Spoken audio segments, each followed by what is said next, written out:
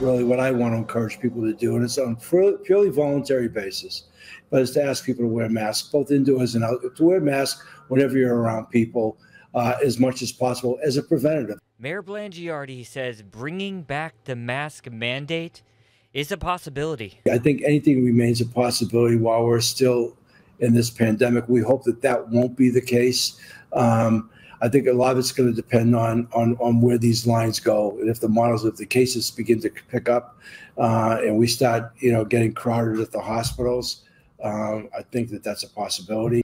Hawaii continues to see an increase in COVID 19 cases and deaths. In the latest weekly report issued this morning, the state confirmed 7,149 new coronavirus infections in the past seven days. There were also 12 additional fatalities. For a complete breakdown of all these latest numbers, go to your H&N digital platforms. We have a story published there.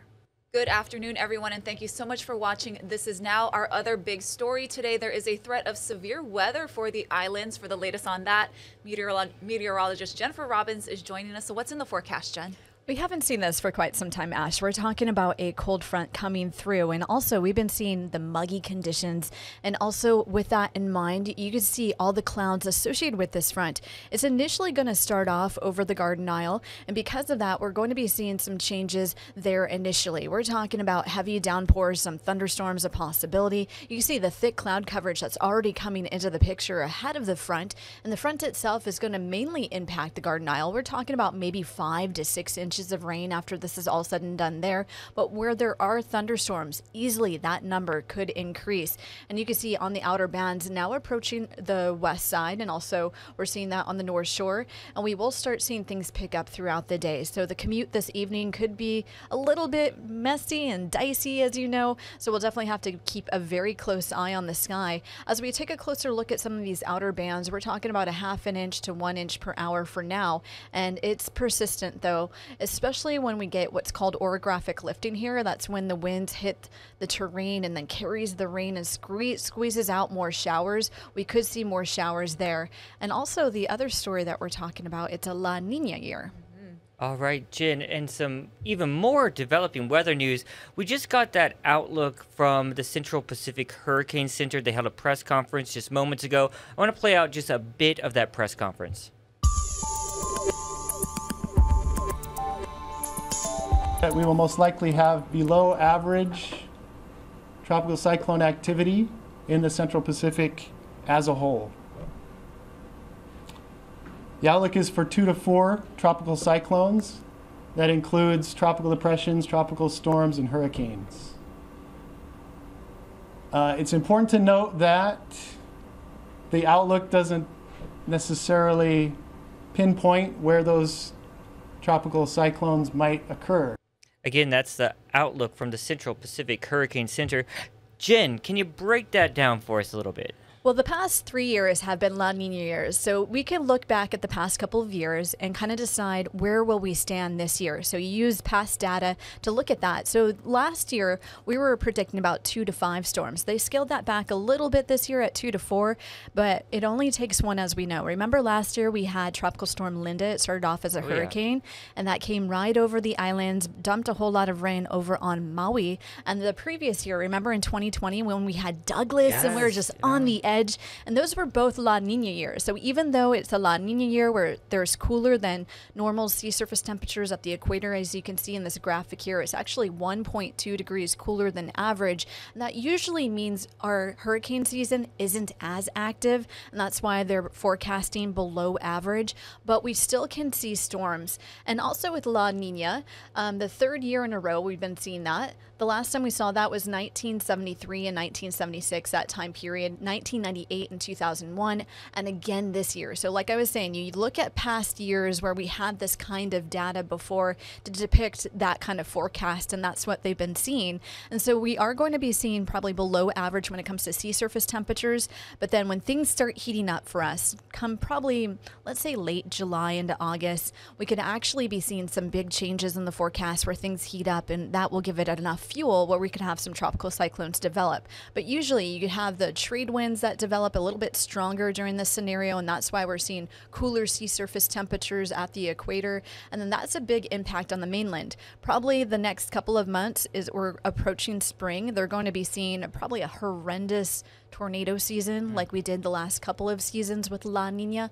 Also, drought conditions on the mainland as well. And then you can see the storm track is going to be staying well to the north so that polar air stays towards Canada. But here at home, we'll continue our drought conditions as well. We'll likely be seeing drought conditions like we have been the last couple of um, months into this season as well. We're hoping for the wet season to get some storms, but remember last year we also had that Kona low in January. Oh, yeah. So we could have maybe those kind of scenarios where we'll have these long periods of dry um, periods, but then a Kona low will develop. And like today, we have a storm system northwest of the island chain. We're hoping for rain because we're under these drought conditions, but below average when it comes to hurricanes projected, but that doesn't mean that a hurricane won't be coming our way. So we'll definitely have to be prepared. And uh, Jen, real quick, just a couple seconds left. How accurate are these outlooks? It's pretty accurate. Um, last year we had three that came into the um, Central Pacific and just the outer edge of the Central Pacific, and we had one storm, Linda, that came right over us, and they were predicting about two to five, so they were in that ballpark. And I think um, we could be in that range again tomorrow, or I mean into the season. We're talking about two to four. We could be falling anywhere from one storm, two storms, up to four storms within the Central Pacific. But like I said, it only takes one that crosses over, and that's why we need to be prepared now. Yeah, and Hawaii residents are pretty good about that, Oh, right? yeah. Having their hurricane kits year round. Yeah, don't be the last minute guy that goes to Costco. Do it now. Yeah.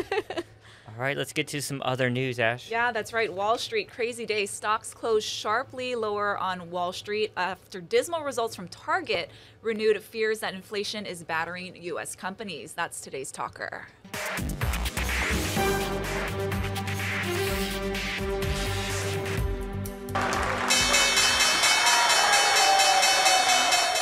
S&P 500, the benchmark for many index funds, fell 4%.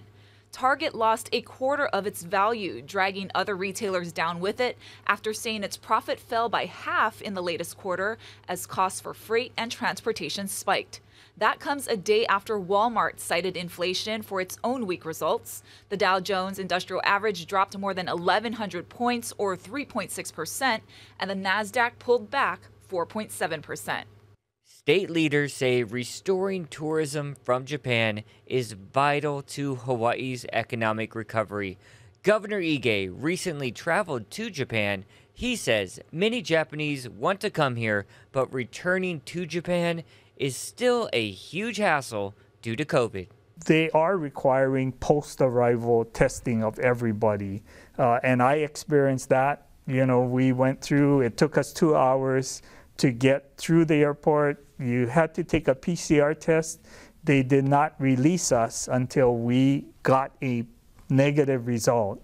Uh, and I could see in talking with many of our travel partners, it's typical that um, travelers would be in the airport for five hours or more until they could get tested. And clearly, people don't want to travel if they have to put up with that. So, So you as governor had to be in the airport for, for two hours? yes, And you're a public official. yes. So, yesterday, flights from Japan brought just 408 people to Hawaii, including flight crews. Before the pandemic, we were getting more than 4,000 people per day from Japan. Well, eyes are on that Senate race in Pennsylvania. For more on that, we're joined now by Hawaii News Now's chief national political analyst, Greta Van Susteren. Now, Greta, why is this race so important? Oh, Ashley, this is important not just to Pennsylvania, but to all the people of Hawaii and every other uh, state in the in the union because this the Senate is split 50-50, and in Pennsylvania that is an open Republican seat since Senator Pat Toomey is retiring. So naturally, the Republicans want the strongest candidate so they can keep that seat. Democrats want to win that seat because they would love come November, they'd love to have the Senate be 51 to 49 and not 50-50. So that's a very important seat. Naturally, the Republicans really want to hang on to it. President Trump endorsed uh, Dr. Oz and uh, David McCormick who the, the race still hasn't been called. David McCormick is very close, neck and neck with uh, Dr. Oz. There's probably going to have to be an automatic uh, recount in that state. They're so close. Uh, but the interesting thing about David McCormick is his wife was on the National Security Council of President Trump. And Hope Hicks, who's been very close to President Trump uh, for years and at his side all through the 2016 race and the 2020 race, well, she's on the campaign team of David McCormick, and President Trump instead endorsed uh, Dr. Oz. So lots of drama, but but it's a very important race because that could tip the Senate along. Same is true though for the race in North Carolina. That's an open seat as well. Yeah, speaking of former President Trump, does he still have a pretty strong influence over the GOP? I think it's fair to say that the GOP is his right now. And every single candidate who runs on the Republican ticket wants his endorsement, or practically everyone. I mean, even though we talked about Dave McCormick a second ago, is that even though he wasn't endorsed by President Trump, he went around talking, praising President Trump because he, you know, he's trying, because so many voters, and especially primary voters, that's your most passionate part of your political base. They, they're, they are very passionate about uh, President Trump. So yes, President Trump, that's still his party. He has a couple, he has a lot of, a lot of check marks in the win category in terms of uh, uh, primaries. Uh, he has a couple losses. Last night, for instance, he had endorsed in North Carolina Congressman Cawthorn, who was defeated. But I'm not so sure anything could have helped uh, Congressman Cawthorn because he has been steeped in horrible scandals recently. So I don't, I, I don't see how an endorsement from anybody could have helped him because he, he seemed pretty doomed from the from the get-go. Uh, but nonetheless, uh, he, you know, he was defeated, and President Trump did endorse him. So uh, President Trump's uh, detractors are pointing that out that uh, you know that you know that President Trump's candidate didn't win. But I'm not so sure anything could have helped Congressman Cawthorn in North Carolina. Yeah, that was unlikely. Uh, the governor's race in Pennsylvania getting a lot of attention too. What can you tell us about that?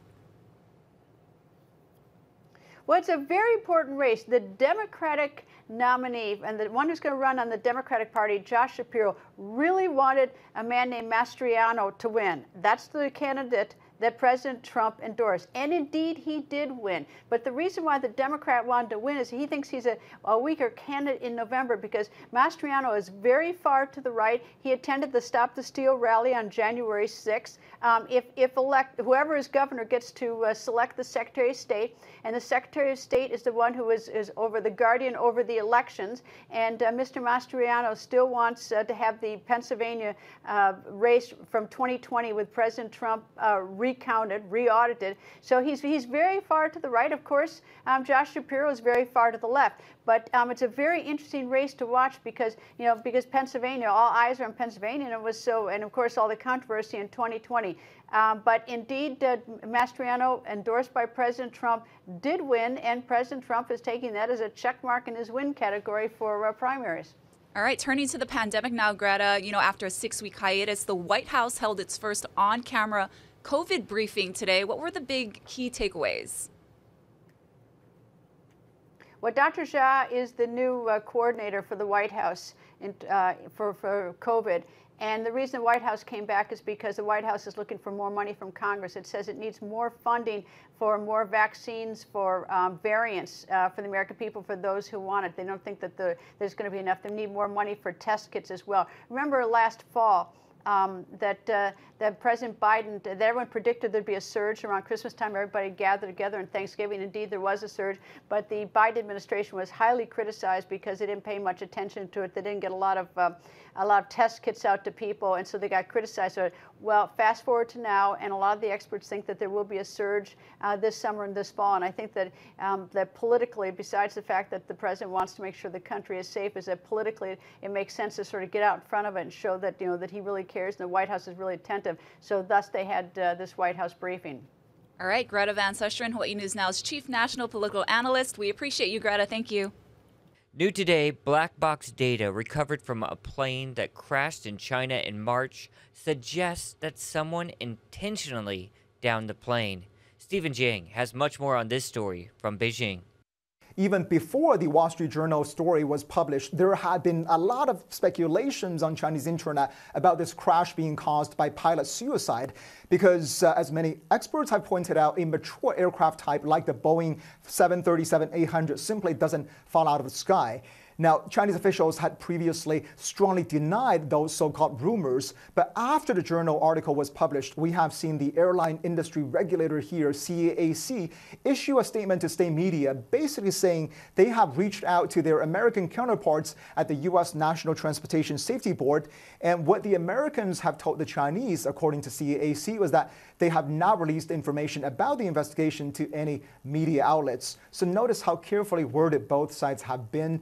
Neither the Americans nor the Chinese have directly denied the crux of the journal report, which was this deadly crash was caused by human inputs from the cockpit. Now, analysts and the uh, observers have also pointed out to some hints and suggestions that the Chinese authorities may be concerned about, if not aware, of the human factors involved in this crash. Because on April 6th, just a few weeks after this crash, the uh, CAAC authorities uh, held a nationwide conference on air safety with the Minister of Civil Aviation, actually urging officials across the country to pay particular attention to pilots' state of mind, saying all frontline employees, but especially pilots, need to be physically and mentally fit to fly to ensure the safety of the entire industry. And uh, other observers have also pointed out to the fact that the 737-800 uh, series continues to be operated by Chinese airlines after the crash as another sign that this crash was not caused by mechanical or technical failures. Even China Eastern itself, after suspending commercial services of the aircraft type for a brief period of time, has resumed flying this very popular aircraft across China. Stephen Jiang, CNN, Beijing. The feds have approved a path for United Airlines to resume using dozens of Boeing 777 jets that have been grounded since the engine on one of the planes blew apart over Denver last year. The FAA confirmed that it has approved the necessary steps for flights to resume using the planes which have engines made by Pratt and Whitney. The planes were grounded in February of 2021 after a Hawaii-bound plane suffered an engine failure shortly after takeoff and rained down debris over the Denver area. You'll recall this dramatic video. The pilots were able to return to the Denver airport and land safely. United says some of the planes will be back in use within a week. The 52 planes account for nearly 10% of United's passenger carrying capacity. Toyota, Nissan, GM Ford, you name it, the big automakers are all going electric. But the problem is a lack of public charging stations. Casey Lund has more. Aloha from the HECO electric vehicle charging station here off Ward Avenue, just across from the Blaisdell. Come with me, I want to show you one of these units, these DC fast charging units. There are about 10 of these on Oahu, about 25 statewide. Now, the utility says they want to add 300 across the state uh, by the year 2030. They're going to have about 60% on Oahu, 20% on Maui County, and 20% on Hawaii Island. But even state lawmakers, the DOT, and consumers especially say that still may not be enough for the number of electric vehicles that we have in this state. We want to cite Honolulu Civil Beat that did some great work in in depth reporting on this issue. It's a closer look at the reality of Hawaii trying to meet its bold energy agenda goals by the year 2045 100% clean energy. That means zero emissions. For those who are in the market for an electric vehicle, it's a simple matter of choice and necessity. I spoke yesterday with Daniela Spoto, who was in the market for an EV. She tells me the lack of charging stations made her rethink her decision. Yeah, and you know, now that gas prices are going up so much more, I'm really reconsidering this choice and looking at potentially, you know, revisiting my decision. I think one of the things that's been kind of scary that's coming up recently is talking to my friends who have EVs um, and just hearing the struggles that they're having finding places to go charge them.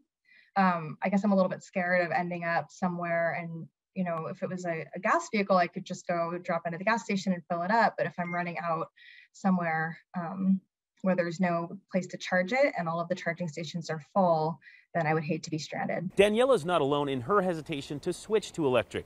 It's a difficult move to make, especially if you live in a condo or an apartment complex where the technology just isn't there. Listen to what State Senator Chris Lee had to say about giving incentives to businesses like malls, condos, and apartment complexes to add more EV charging stations. If you live in a condo, for example, do you as a condo owner pay to put in a charging station in your garage or does the association have responsibility? There's a lot of questions. So what we did was we passed legislation this year to expand financing programs to help provide grants for folks who want to put those kinds of things in. We have $18 million in federal funds that are going to put in public charging stations up and down the uh, freeway corridors.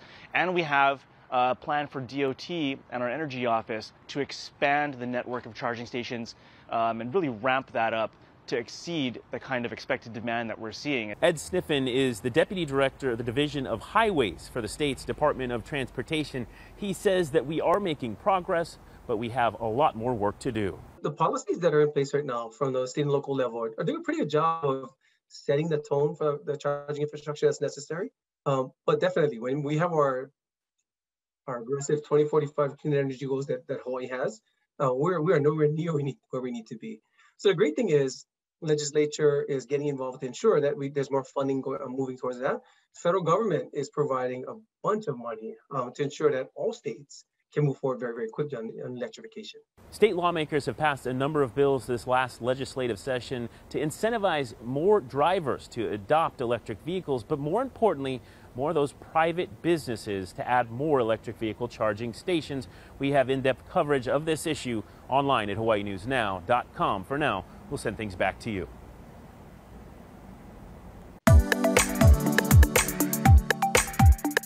It's time for What You Watching Wednesday, and Paramount Global just released moments ago a vast new slate of programming for its platforms. Let's turn things over now to Dana Tyler from New York with more on that. Fire Country, based on California's inmate firefighter program, is one of three new dramas debuting on CBS this fall. Can I, uh, can I use your phone to call my lawyer? Sure. You have phone privileges in a week. Max Thieriot is both the star and an executive producer.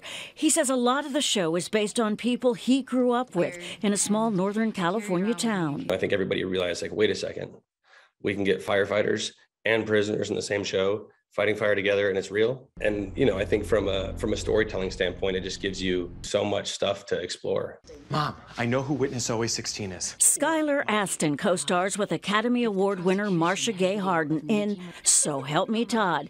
It's about a lawyer who hires her aimless son as her law firm's investigator. For those of you who don't know, my name is Regina Haywood. And the gritty new police drama East New York stars Amanda Warren as the newly promoted boss of a Brooklyn precinct. This is a no holds punches. We are here to tell the truth and really tap into the human condition. Joining the Wednesday night all reality lineup is a new romance adventure competition series inspired by The Love Boat called The Real Love Boat. I may have put a curse on you and Jay. Excuse me? Among CBS's 18 returning shows, the number one new series, Ghosts, starring Rose McIver. It's fun. People get to enjoy some of the humor in it. Perhaps this is a good time for a physics joke. The hit comedy Young Sheldon will also be back, as will the number one broadcast series, NCIS. Dana Tyler, CBS News, New York.